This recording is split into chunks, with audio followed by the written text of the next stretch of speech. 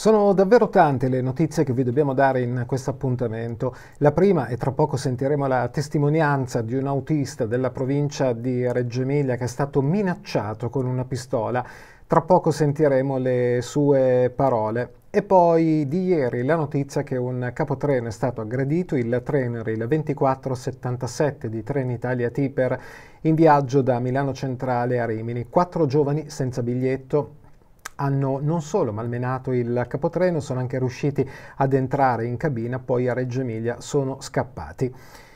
Trenord, ieri un treno della linea Parma-Brescia è andato a fuoco, successivamente Trenord ha fatto sapere che non era un incendio, unica cosa certa è che gli utenti per due ore sono stati in balia di capire quello che succedeva e non è arrivato nessun autobus.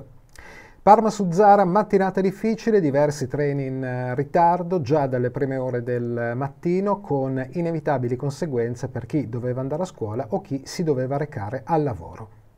Come abbiamo detto è il momento di ascoltare la testimonianza di un autista eh, che è stato minacciato con una pistola fortunatamente a gommini. Queste sono le sue parole. Otto Grasso e sono un conducente di, di linea che lavora la, per la Concord Tour. Niente, eh, lunedì, mentre che stavo andando con la corsa a vuoto a, a Correggio, due ragazzi provenienti dal senso inverso hanno tirato fuori una pistola e hanno sparato, eh, ma il loro intento è prendermi nel, mm, in viso.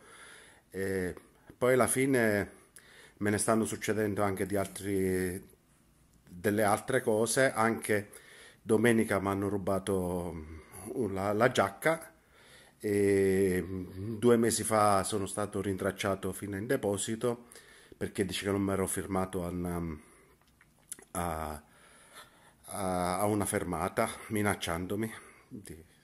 Questo è.